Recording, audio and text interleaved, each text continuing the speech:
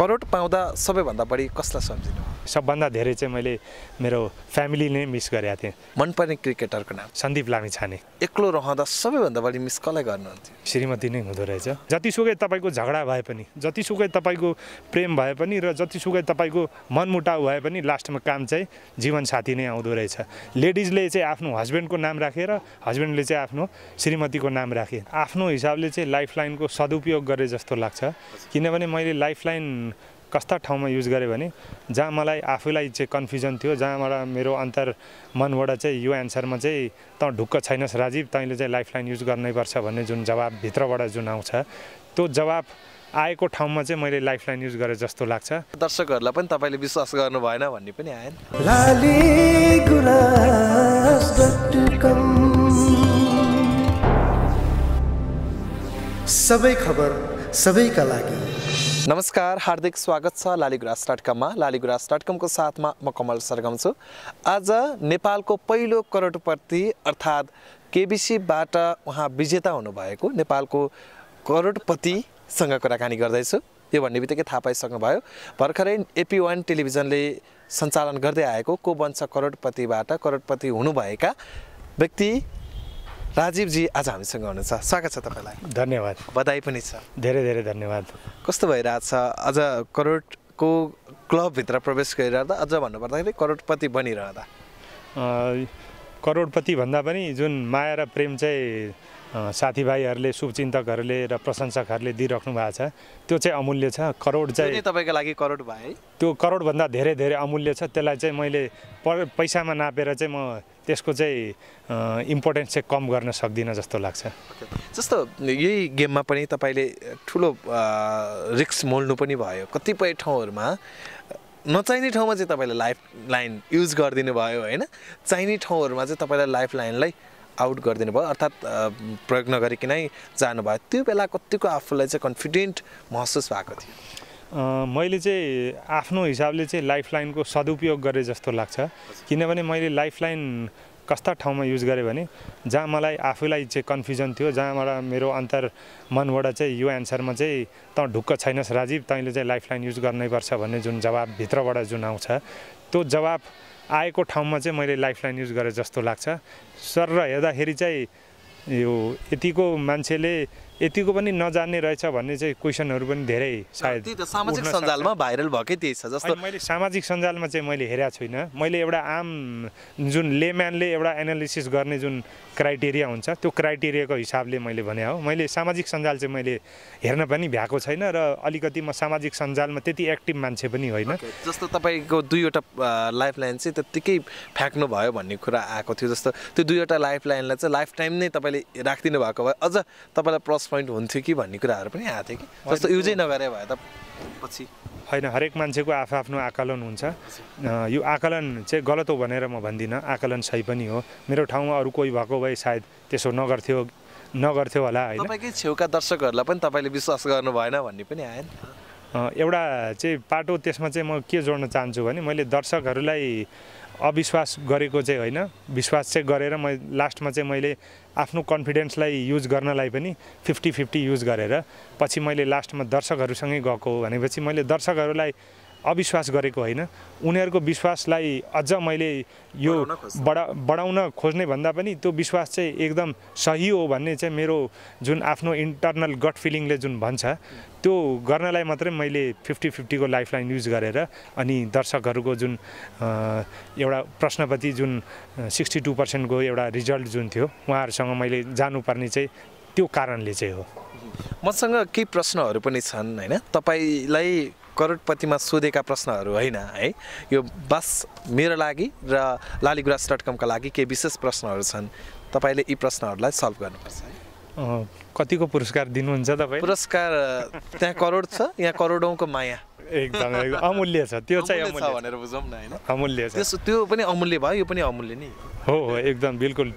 ठट्टा आफ्नो ठाउँमा तर एकदम राम्रो र अमूल्य हो। त्यसलाई चाहिँ एउटा कुरा मलाई असाध्यै मन परेको थियो त्यहाँ तपाईँले बोल्नु भएको मलाई करोड होइन। त्यहाँ मैले दिएको उत्तर सही हुनु पऱ्यो होइन?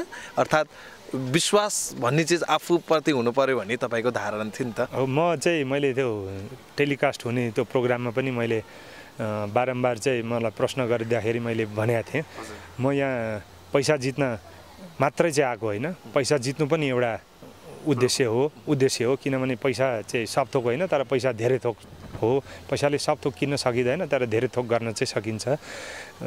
त्यो सन्दर्भमा मैले के भनेको थिएँ भने म पैसा मात्रै जित्न आएको होइन। आफू आफूलाई प्रुभ गर्नु पनि मेरो एउटा ठुलो उद्देश्य छ। मलाई कसैलाई होइन आफूलाई चाहिँ यो मेरो ज्ञान चाहिँ कतिको सम्म चाहिँ मैले हासिल गरेको छु कहाँसम्म पुग्न सकिने रहेछ भन्ने एउटा मेरो उद्देश्य थियो। त्यो सन्दर्भमा चाहिँ मैले त्यो उत्तर चाहिँ मैले दिएको हो। मसँग मैले अघि भनिसकेँ यहाँ बाह्र बाह्रवटा प्रश्न छन्। बाह्रवटा प्रश्नको तपाईँले उत्तर दिने कोसिस गर्नुहोला। अर्थात् यो एकदमै नितान्त तपाईँलाई सहज प्रश्न हो। तपाईँलाई गाह्रो होइन तर प्रयोग हुने प्रश्नहरूमध्येका प्रश्नहरू हुन्छ तपाईँले उत्तर दिनुपर्छ है। अवश्य प्रयास गर्छु म। मेरो पहिलो प्रश्न रहेको छ करोड पाउँदा सबैभन्दा बढी कसलाई सम्झिनु? करोड पाउँदाखेरि मैले चाहिँ मसँग उपस्थित चाहिँ मेरो आमा बुवा र मेरो तिनवटा बच्चाहरू पनि स्टेजमा भइदिए भए कति राम्रो हुन्थ्यो भन्ने चाहिँ मैले उहाँहरूलाई चाहिँ त्यो स्टेजमा नहुँदाखेरि धेरै मिस गरेको थिएँ। सबभन्दा धेरै चाहिँ मैले मेरो फ्यामिली नै मिस गरेको थिएँ। मेरो फ्यामिली चाहिँ सम्पूर्ण रूपमा मसँग त्यहाँ मेरो खुसीमा त्यस्तो सामेल भइदिन पाए चाहिँ अझ राम्रो हुन्थ्यो भन्ने चाहिँ सबभन्दा पहिला मेरो मनमा आएको थियो। किनभने मेरो सम्पूर्ण फ्यामिली चाहिँ मसँग स्टुडियोमा त्यतिखेर मसँग थिएन। मेरा साथीभाइहरू मेरा काकाहरू मेरो बहिनी मेरो श्रीमती हुँदाहुँदै पनि सम्पूर्ण फ्यामिली चाहिँ एकजुट भएर त्यहाँ हुन पाए हुन्थ्यो कि भन्ने चाहिँ मैले त्यो मिस गरेको थिएँ त्यतिखेर एक करोडको तपाईँले बारम्बार त्यहाँको माहौलमा भनिराख्नु भएको थियो म क्रिकेटलाई चाहिँ असाध्यै मन पराउँछु भनेर होइन? एउटा प्रश्नको उत्तरमा पनि क्रिकेटलाई सहज रूपमा उत्तर दिनुभएको थियो होइन? हजुर हजुर। यो दोस्रो प्रश्न। प्रश्नमा त होइन अलिकति त्यो समय लागे पनि तपाईँले प्रष्ट रूपमा यसलाई चाहिँ पन्छ्याउँदै पन्छ्याउँदै यो यसरी हो भनेर स्पष्टीकरण दिइरहनु भएको हजुर हजुर हजुर। त्यही भएर मैले क्रिकेटको पनि एउटा प्रश्न राखेको छु। तपाईँलाई मनपर्ने क्रिकेटरको नाम? मेरो सबभन्दा प्रिय क्रिकेटर चाहिँ अहिले चाहिँ रिटायर्ड भइसकेको छ। त्यो चाहिँ भारतको चाहिँ सचिन तेन्दुलकर हो। नेपालको चाहिँ? नेपालको चाहिँ मलाई सबभन्दा मनपर्ने क्रिकेटर चाहिँ सन्दीप लामिछाने। सन्दीप मक्ख हुनु है? किनभने आज उहाँले सम्झिनु। चाहिँ हाम्रो नेपालको धेरै शोभा बढाउनु भएको छ। दिल्लीको दिल्ली क्यापिटल्सको टिमबाट खेलेर चाहिँ नेपालको चाहिँ उहाँले चाहिँ गौरव बढाउनु भएको छ। आइपिएल जस्तो एउटा ठुलो विश्व स्तरको प्रतियोगितामा नेपालले प्रतिनिधित्व गराउने सन्दीप लामिछानेलाई चाहिँ मेरो ह्याट्सअप र सलाम छ। तपाईँ पढाइमा पनि ट्यालेन्ट होइन? तर स्कुलतर्फ लागौँ न। स्कुलमा पढ्दाको सबैभन्दा रमाइलो क्षण जुन कहिल्यै भुल्न सकिन्न? एकदेखि दससम्म त्यो स्कुलको त्यस्ता थुप्रै क्षणहरू छन् मसँग। एक एकवटा क्षणहरू मैले मेरो पहिलाको स्मृतिमा चाहिँ मैले पछाडि गएर हेर्दाखेरि मलाई थुप्रै क्षणहरू छन् त्यस्ता। तर त्यस्ता क्षणहरूमध्ये पनि सबभन्दा एउटा कहिले नबिर्सिने क्षण चाहिँ मेरो जब मैले एसएलसी दिइसकेर रिजल्ट कोहिरहेको थिएँ त्यतिन्जेलसम्म म कलेज स्कुलको चाहिँ टपर कहिले पनि थिएन। टप टू या टप थ्रीमा चाहिँ जहिले पनि पर्थेँ तर टप गर्न चाहिँ मैले स्कुलमा कहिले पनि सकेको थिइनँ मैले जहिले पनि दोस्रो या तेस्रो स्थान चाहिँ जहिले पनि हासिल गर्थेँ। पहिलो स्थान चाहिँ अर्कै साथीले जहिले पनि ल्याउने गर्नुहुन्थ्यो। र दुई हजार अडचालिस सालमा मेरो दाइले एसएलसी दिइसकेर रिजल्ट आउँदाखेरि उहाँले जिल्लाको जिल्ला स्तरीयको एक्जामको टपर हुनुभएको थियो। त्यो भएपछि मसँग पनि मेरा परिवारदेखि लिएर साथीभाइहरूको पनि एक्सपेक्टेसन त्यस्तै थियो। बा यसले पनि गर्छ कि। तर स्कुलमा चाहिँ पास रेकर्ड हेर्दाखेरि टपर नभएर सेकेन्ड या थर्डमा हुँदाखेरि बा गर्दैन कि भन्ने पनि एउटा आफूलाई पनि र अरूलाई पनि आफूसँग जोडिएका मान्छेहरूसँग पनि त्यस्तै एउटा एक्सपेक्टेसन हुँदाहुँदै मैले जिल्ला टप गर्दाखेरि त्यो स्म- स्मरण चाहिँ मलाई जहिले पनि लाइफ टाइममा मलाई कहिले नबिर्सने पलमध्ये मध्ये सबभन्दा इम्पोर्टेन्ट पल जस्तो लाग्छ मलाई। त्यो तपाईँ जब स्कुल टपर हुनुभयो अझ भन्नुपर्दाखेरि जिल्ला टपर हुनुभयो एसएलसी जस्तो त्यो विशेष क्षणमा त्यो चाहिँ तपाईँको जीवनको सबैभन्दा महत्त्वपूर्ण स्कुल लाइफको चाहिँ म त्यसलाई चाहिँ सबभन्दा महत्त्वपूर्ण एउटा कहिले न नबिर्सिने एउटा जुन अनुभव हुन्छ र एउटा जुन स्मृति हुन्छ त्यसलाई मान्दछु म। तपाईँ कुन विषयमा अलिक बढी ट्यालेन्ट लाग्छ आफूलाई चाहिँ? यो अर्को प्रश्न हो। म चाहिँ ट्यालेन्टेड हो भन्ने चाहिँ म भन्दिनँ। म चाहिँ अलिकति इन्फर्मेसन कलेक्ट गर्ने मान्छे हो तर म ट्यालेन्टेड हो भनेर चाहिँ म भन्दिनँ। किनभने मभन्दा धेरै ट्यालेन्टेडहरू मेरा ब्याचमा पनि थिए र मभन्दा धेरै ट्यालेन्टेडहरू अरू धेरै मान्छेहरू छन्। त्यसले गर्दाखेरि म एउटा साधारण सामान्य अलिकति इन्फर्मेसनसँग रुचि विषयमा चाहिँ म अलिकति ट्यालेन्ट छु भन्ने हुन्छ नि यस्तो विषयहरू। विषयभन्दा पनि मेरो आफूमा त मलाई क्रिकेटमा चाहिँ साह्रो सर्वाधिक रुचि भएको मेरो एउटा चासोको विषय हो। त्यसले पनि भन्छ। त्यसले गर्दा त्यसले गर्दाखेरि क्रिकेटमा चाहिँ अलिकति मलाई इन्फर्मेसन कलेक्ट गर्ने वर्ल्ड कपकादेखि लिएर आइपिएलकादेखि लिएर सबै विधा जस्तो ट्वेन्टी ट्वेन्टी होस् या आई ट्वेन्टी होस् या तपाईँको यो वान डे इन्टरनेसनल होस् होइन? अनि यो टेस्ट म्याचेसहरू होस् त्यो चाहिँ मलाई अलिकति मेरो आफ्नो घतलाग्दो विषय भएकोले क्रिकेटमा चाहिँ अलिकति मलाई नलेज छ कि जस्तो चाहिँ लाग्छ मलाई। लाग्छ। मेरो अर्को प्रश्न छ नेपाल भन्दा नेपालका धेरै जिल्लाहरू तपाईँ घुम्नु भएको छ भन्ने कुराहरू पनि आयो होइन? हजुर। तपाईँलाई नेपालमा चाहिँ सबैभन्दा बढी घुमेका जिल्ला र सबैभन्दा बढी मनपर्ने त्यो ठाउँको नाम भन्नुहोस्। मलाई नेपालको भ्रमण गर्ने क्रममा मैले पूर्वको झापादेखि इलामदेखि लिएर थुप्रै जिल्लाहरू मैले घुम्ने क्रममा मैले पश्चिमको सुदूरपश्चिमको कैलालीसम्म म पुगेको छु। सबै जिल्लाहरू त म पुग्न सकेको छुइनँ। त्यो चाहिँ एउटा मेरो आफ्नो घुम्ने क्रमको चाहिँ एउटा लक्ष्य त्यो पनि हो। प्रायः जसो घुम्न सक्ने ठाउँ चाहिँ नेपालको पनि हेर्नुपर्छ भन्ने मान्यतामा राख्दछु। किनभने नेपाल आफैमा यति सुन्दर र प्रकृतिले दिएको एउटा पूर्वको स्विजरल्यान्ड भनिने देश हुँदाखेरि हामीले बाहिरको पर्यटन सँगसँगै आन्तरिक पर्यटन पनि बढावा दिनुपर्छ भन्ने जस्तो लाग्छ। मलाई सबभन्दा मलाई मन परेको मेरो पर्यटन स्थलमध्ये लाङटाङ चाहिँ एउटा सबभन्दा राम्रो स्थलको रूपमा चाहिँ म घुमेको मध्येमा? तपाईँको जीवनमा त्यो क्षण जुन आजसम्म पनि भुल्न नसक्ने त्यो चाहिँ एकदमै भयानक घटना त्यस्तो कुनै छ? तपाईँको जीवनमै? मेरो जीवनमै भुल्न नसक्ने एउटा घटना चाहिँ कस्तो छ भने मैले आफ्नो बिबिएस कम्प्लिट गरिसकेर मैले जबको लागि चाहिँ नेपाल बङ्गलादेश ब्याङ्कमा एप्लाई गरेको थिएँ र इन्टरभ्यू पनि दिएँ र त्यसमा म सक्सेसफुल पनि भएँ। त्यो जब गर्नलाई मैले इन्टरभ्यू दिइसकेपछि अफर लेटर आउँदासम्ममा चाहिँ मैले दिल्ली युनिभर्सिटीमा एमबिए गर्नलाई एप्लाई पनि गरेको थिएँ। र जुन दिन मैले त्यो एनबी ब्याङ्कको अफर लेटर पाएँ त्यही दिन मलाई फ्याकल्टी अफ म्यानेजमेन्ट स्टडिज दिल्लीबाट चाहिँ एडमिसनको कल आयो। त्यो चाहिँ मेरो लागि सबभन्दा ठुलो दुविधा पनि थियो र सबभन्दा ठुलो मेरो अपर्च्युनिटी पनि थियो। त्यो क्षण चाहिँ मेरो लागि कहिले पनि बिर्सन नसक्ने क्षण चाहिँ भयो जस्तो। अब एउटा। एउटा बेलामा दुई ठाउँको अपर्च्युनिटी कुन चाहिँ ग्राप गर्ने कुन चाहिँ छोड्ने भन्ने जुन दुविधा थियो तर साथै हर्ष पनि थियो। किनभने म आफ्नो फर्दर स्टडिज कन्टिन्यू गर्न चाहिँ फ्याकल्टी अफ म्यानेजमेन्ट स्टडिजमा गर्न पाउँदैछु। त्यो पनि मेरो लागि ठुलो अपर्च्युनिटी थियो। त्यो क्षण चाहिँ मेरो लागि अहिलेसम्मको सबभन्दा अविस्मरणीय क्षण छ। अर्को प्रश्न रहेको छ तपाईँको श्रीमती पनि एकदमै समाजदारी हुनुहुन्छ होइन? यो हिसाबले पनि बुझ्न सक्छौँ त्यहाँ केबिसीमा पनि तपाईँलाई दिएको सपोर्ट र अन्य ठाउँहरूमा पनि तपाईँको जस्तो त्यहाँको रिपोर्टहरू हामीले हेऱ्यौँ नि त होइन? त्यो सपोर्ट भन्ने चिज चाहिँ जब परिवारबाट हुन्छ त्यो नै सबभन्दा ठुलो। यो हेर्दाखेरि तपाईँको विवाह अलिकति फरक नै हो कि जस्तो लाग्छ? तर यो प्रश्नले उत्तर के आउँछ भन्ने कुरा हो। तपाईँको भागी विवाह कि मागी विवाह? मेरो भागी विवाह चाहिँ होइन मेरो माघी विवाह हो। मैले चाहिँ जुन आफ्नो मेरो श्रीमतीसँगको जुन बन्डिङ छ र जुन मेरा नजिकका मान्छेहरूले मलाई चिन्छन् तिनीहरूले चाहिँ पक्कै यो भागी विवाह हो यो चाहिँ लभ म्यारेज नै हो कि जस्तो भनेर जुन एउटा कम्बिनेसन छ हाम्रो समझदारी छ र एउटा ट्युनिङ छ त्यसले गर्दाखेरि धेरै कन्फ्युजनमा पर्छन् त्यो कन्फ्युजनमध्ये एउटा चाहिँ मान्छेले के सोध्छन् भने पक्कै पनि यो माघी विवाह होइन भागी विवाह हो जस्तो भनेर एउटा धारणा छ तर यो भागी विवाह होइन माघी विवाह नै। भनेपछि प्रेम चाहिँ प्रेम नै हो तर अन्तमा विवाहमा परिणत भयो होइन? परिवारसँग जोडियो।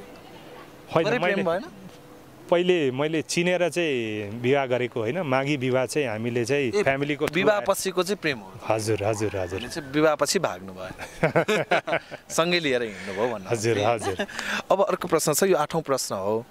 तपाईँ धेरै समय अलिकति टाढै बिताउनु हुँदो रहेछ परिवारभन्दा बाहिर पनि धेरै समय बिताउनु भयो हजुर। त्यो क्षणहरू जस्तो एक्लो रहँदा सबैभन्दा बढी मिस कसलाई गर्नुहुन्थ्यो एक्लो रहँदाखेरि सबभन्दा बढी मिस हुने भनेको चाहिँ श्रीमती नै हुँदो रहेछ। किनभने जतिसुकै बच्चाहरूको माया होस् या अरू परिवारका सदस्यहरूको माया होस् तर आफ्नो जुन जीवन सङ्गिनी छ जो जीवन साथी छ ऊ चाहिँ कहिले पनि ओझालमा पर्ने चाहिँ सकिँदो रहेनछ। त्यो त्यसले गर्दाखेरि मलाई जहाँसम्म लाग्छ म सबभन्दा धेरै मिस गर्ने चाहिँ बाहिर हुँदाखेरि श्रीमतीलाई नै हो। दुईमा एक रोज्नुपर्छ। तपाईँ समाजसेवी रोज्नुहुन्छ कि बिजनेस रोज्नुहुन्छ? मैले दुइटामध्ये एउटा रोज्नु पऱ्यो भने चाहिँ म यसको अनेस्ट उत्तर चाहिँ के दिन्छु भने म बिजनेस नै रोज्छु। किनभने मसँग जोडिएका अरू मेरा आफन्तहरू या मेरा काकाहरूदेखि लिएर अरूहरूले त्यो पाटो चाहिँ मलाई पूरकको रूपमा पूर्ण गर्दै आएका छन्। किनभने मैले त्यो जिम्मेवारी मैले पनि गर्न थालेँ भने मेरो व्यापारको पाटोवाला पनि पाटो मैले जुन हेरिरहेको छु त्यो अलिकति ब्याकसिटमा जान्छ भने मैले आफ्नो कन्ट्रिब्युसन गर्ने जुन मेरो क्षमता छ त्यो घट्दै जान्छ। लङ रनमा चाहिँ मैले त्यो क्षमता घट्दै जाँदाखेरि मैले त्यो कन्ट्रिब्युसन गर्ने क्षमता पनि मेरो घट्दाखेरि समाजसेवामा पनि मैले चाहिँ ध्यान पुर्याउन सक्दिनँ कि भनेर इन्डाइरेक्टली भन्दाखेरि मैले चाहिँ समाजसेवाको लागि भए पनि व्यापारमा चाहिँ रोज्नु पर्दाखेरि व्यापार त्यसपछि समाजसेवा। तपाईँको धारणा हो यसरी बुझौँ यसरी बुझ्दा पनि. हुन्छ सन्तान कि श्रीमती दुईमा एक रोज्नै पर्छ धेरै डिफिकल्ट क्वेसन हो अब यो यसलाई अलिकति प्रष्टै पारिदिनु। सन्तान र श्रीमतीको सन्दर्भमा तपाईँसँग समय छ भने एउटा सानो म सेयर गर्न चाहन्छु. एउटा प्रोफेसरले चाहिँ एघारजना कपाललाई एउटा अडिटोरियममा इन्भाइट गरे र उनीहरूलाई चाहिँ आफ्नो पुरै फ्यामिलीको एउटा लिस्ट बनाउन भने सबैले बनाए सबैले लिस्टहरू तयार पारे र प्रोफेसरले पहिला भन्नुभयो अब यो लिस्टमध्ये तपाईँले सबभन्दा पहिला एउटा नाम काट्नुपर्छ भनेर भन्नुभयो। काट्दै जाँदा काट्दै जाने क्रममा कसैले पहिला आफ्नो काकाको नाम कसैले भाइको नाम कसैले बुहारीको नाम त्यसरी काट्दै गए। लास्टमा आएर चाहिँ सन्तान आमा बुवा र श्रीमती तिनवटामा आएर सबै अड्के। अब चाहिँ के गर्ने भनेर। र त्यो गर्ने क्रममा चाहिँ तेस्रो अप्सन गर्दाखेरि सबभन्दा पहिले सबले आमा बुवा चो को जुन कलम छ त्यसलाई क्रस गरेर आँखाभरि घभरि आँसु पारेर त्यो क्रसिङ चाहिँ गर्दै गरे। लास्टमा आएर अब यो सेकेन्ड लास्ट अप्सनमा चाहिँ अब तपाईँले श्रीमती र बच्चामा कसलाई चुज गर्नु हुँदाखेरि भन्दाखेरि धुरु धुरु रोएर सबैले बच्चाहरूको कलम चाहिँ काटे। लास्टमा रहेछ जीवनसाथी। किनभने त्यो जीवनसाथी भनेको चाहिँ के हो भने तपाईँलाई तपाईँको जीवन पूर्ण बनाउने जीवनसाथीले धेरै कुराहरूको त्याग गरेर आएको हुन्छ। त्यो त्याग गरेको हिसाबले पनि उसको त्यो त्याग अमूल्य हो। त्यसलाई चाहिँ केही चिजमा पनि कम्पेयर गर्न सकिँदैन भनेर त्यो प्रोफेसरले देखाउनु भयो। जतिसुकै तपाईँको झगडा भए पनि जतिसुकै तपाईँको प्रेम भए पनि र जतिसुकै तपाईँको मनमुटाउ भए पनि लास्टमा काम चाहिँ जीवनसाथी नै आउँदो रहेछ। लेडिजले चाहिँ आफ्नो हस्बेन्डको नाम राखेर हस्बेन्डले चाहिँ आफ्नो श्रीमतीको नाम राखे। त्यसले गर्दाखेरि अब यो क्वेसनको प्रश्नको चाहिँ जवाब मैले दिनुभन्दा पनि प्रोफेसरले दिए जस्तो लाग्छ। प्रोफेसर नै तपाईँ भइदिनु भयो आजको लागि होइन? भनेको तपाईँले श्रीमती रोज्नु भयो। हजुर। उहाँबाट है?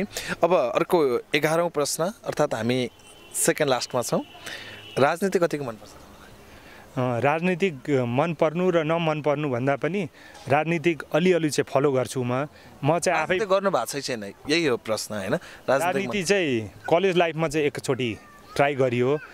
कलेजमा चाहिँ हामीले स्वतन्त्र विद्यार्थी युनियनको चुनावको लागि चाहिँ हाम्रो एउटा आफ्नो कोर टिम थियो। तपाईँ के यो हुनुहुन्थ्यो? फ्रेन्ड्स ग्रुप भनेर हाम्रो एउटा ग्रुप थियो। त्यो ग्रुपमा चाहिँ सचिवको लागि चाहिँ म चुनाव लड्नको लागि उठाएको थिएँ। र त्यो हाम्रो पुरै टिम प्यानलले नै त्यो चुनाव लडेको थियो। लड्ने चाहिँ नामाङ्कन चाहिँ दाखिल गरेर पछि सहमतिमा अरू सबैले नाम फिर्ता लिए। म चाहिँ संयोजक संयोगवश म चाहिँ बाहिर भएको हुनाले नाम फिर्ता लिन सकिनँ तर मैले क्याम्पेनिङ पनि गरिनँ त्यतिखेर। लास्टमा मेरो अप्सन चाहिँ ब्यालेट पेपरमा आउँदाखेरि मैले एक सय बयासी भोट चाहिँ प्राप्त गरेँ त्यो पनि क्याम्पेनिङ नगरिकन। भनेपछि मेरा शुभचिन्तकहरू र साथीभाइहरूले चाहिँ नाम भएकै नाम भएकै कारणले गर्दाखेरि एक सय बयासी भोट चाहिँ गरेँ।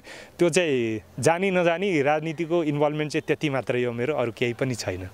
तपाईँलाई मनपर्ने नेता जसले देश बनाउन सकोस्? ठ्याक्कै भन्दाखेरि अन्तिम प्रश्न हो। यो अलिकति सहज रूपमा उत्तर। यो सहज भन्दा पनि यो त एकदम असहज बनाउने क्वेसन हो। अब यो मैले कसैको नाम लिनुभन्दा पनि जुन नेताले हाम्रो देशको विकास गर्न सक्छन् र आजको जुन चुनौतीपूर्ण जुन इन्भाइरोमेन्ट छ त्यो इन्भाइरोमेन्टको एउटा सल्युसन निकालेर देशलाई जुन एउटा बाटोमा डोर्याउने हो एउटा प्रगति पथमा लाने हो जुन नेताले त्यो काम गर्न सक्छन् मेरो लागि त्यही नेता सबभन्दा प्रिय नेता हुन्छ तैपनि यसो यो मान्छे चाहिँ छ। जसले देश बनाउन सक्छ भन्ने। तपाईँले आफ्नो खुबी जहाँ प्रयोग गर्नुभएको छ त्यो चिज त तपाईँले पनि भेट्नु पऱ्यो नि त नेपाललाई। किनभने नेपाल एउटा सुन्दर राष्ट्र हो भनेर तपाईँ बोलिराख्नु भएको छ। भोलि सुन्दर राष्ट्र बनाउन सक्ने एउटा व्यक्ति होस् न तपाईँले जसरी केबिसीमा आफ्नो दिमागलाई प्रयोग गर्नुभयो त्यो दिमाग एकचोटि थरी यहाँ प्रयोग गर्नु मलाई लाग्छ आउने पुस्ता जुन हिसाबले शिक्षाको क्षेत्रमा इन्भल्भ भएका छन् र शिक्षामा चाहिँ लागि परेर र देशप्रतिको जुन माया छ उनीहरूले आफ्नो त्यो देशप्रतिको मायाको हिसाबले चाहिँ एउटा हामीले देशलाई चाहिँ यो बाटोसम्म पुर्याउनुपर्छ भनेर जुन एउटा धारणा राख्छन् तीमध्ये नै कुनै एउटा अब नयाँ नेता उजागर हुन्छन् कि भन्ने जस्तो लाग्छ। ओके हेरौँ। तपाईँले जस्तै सोच्नु भएको त्यो नयाँ नेतृत्व देशले पायो भने देशले काँजुले फेरोस् है। अन्तिममा हाम्रो प्रश्न त सक्यो। तपाईँले केही भन्नुपर्ने छ दर्शकलाई? म एउटा तपाईँको च्यानलमध्ये च्यानलको थ्रुबाट के भन्न चाहन्छु भने म त्यति धेरै सोसियल मिडिया युजर होइन। अब यो केबिसीको यो प्रतियोगिता जितिसकेपछि धेरै रिक्वेस्टहरू र धेरै म्यासेजहरू आएका छन्। त्यो जानी जानी भन्दा पनि अन्जानीमा मैले सबैलाई एड्रेस गर्न सकेका छैन। नगरेकाहरूलाई मेरो माया चाहिँ त्यसै नै छ त्यति नै रहन्छ र कसैलाई कमी होइन मैले कसैलाई नेग्लेक्ट गरेको होइन। तर यो च्यानलको माध्यमबाट म के भन्नु चाहन्छु भने तपाईँहरूले मलाई यो दिइराख्नु भएको माया निरन्तर मैले त्यसै नै पाइराखौँ भन्ने मेरो सन्देश मात्रै छ। Okay thank you so much तपाईँले अहिले एक करोड जित्नु भएको छ। यसपछिको अर्को सोहरू जस्तो बढ्दै जान्छ नि यसको त सिजन टूमा टु करोड यस्तो हुन्छ। तपाईँ फेरि भाग लिन पाउनुहुन्छ यो हुन त्यस्तो सिस्टम भाग लिन पाए पनि म चाहिँ यो भाग लिने चाहिँ मेरो लक्ष्य रहेको छैन। भनेको यो नै तपाईँको लागि फर्स्ट एन्ड लास्ट हो। एज अ गेस्ट चाहिँ आउन पाउँदा चाहिँ म आफूलाई सौभाग्य महसुस स्वाभाविक। रूपमा तपाईँ त अब प्रत्येक तर चाहिँ एप्लाई गरेर अब अर्को सिजन चाहिँ एप्लाई चाहिँ गरिँदैन जस्तो लाग्छ। किन? होइन यो मैले चाहिँ के भन्छु भने सबैले अपर्च्युनिटी चाहिँ पाउनुपर्छ। मैले गर्दाखेरि एकजनाको अपर्च्युनिटी पनि किन मिस होस्? मैले आफ्नो जुन लक्ष्य हट सिटसम्म पुग्ने थियो त्यो मैले हासिल नै गरिसकेँ। अब त्यसबाहेक फेरि अब म तपाईँले फेरि सोध्नु होला तपाईँको के महत्त्वाकाङ्क्षाहरू लिमिटेड छन्? तर मेरो महत्त्वाकाङ्क्षाहरू लिमिटेड चाहिँ छैनन्। त्यो चाहिँ मैले आफ्नो जुन कर्मथलो छ र कर्म क्षेत्र छ त्यसबाट चाहिँ पुरा गर्छु। यो सोमा चाहिँ मैले जुन उद्देश्य लिएर आएको थिएँ त्यो मेरो उद्देश्य चाहिँ पुरा भयो। त्यसले गर्दाखेरि अर्को सो चाहिँ फेरि गर्नुपर्छ भन्ने जस्तो चाहिँ मलाई अहिलेसम्म लागेको छैन। Okay thank you so much all the best तपाईँको बिजनेस राम्रो भइरहेछ। यो बिजनेसलाई पनि अलिकति सपोर्ट आफ्नो ठाउँबाट दिनु होला र राष्ट्रलाई पनि सेवा गर्नु होला जस्तो अघि नै समाजसेवा रोज्नुहुन्छ कि बिजनेस भनेको थिएँ। बिजनेस भन्नुभएको छ बिजनेसबाट समाजसेवा पनि गर्ने कोसिस गर्नु होला होइन मैले त्यो बिजनेस गरेर नै समाजसेवा गर्न सकिन्छ भन्ने मेरो तात्पर्य थियो।